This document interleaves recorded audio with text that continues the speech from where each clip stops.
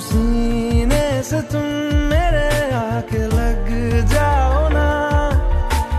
डरते हो क्यों? जरा पास तो आओ ना। धुन मेरी धड़कनों की सुनो।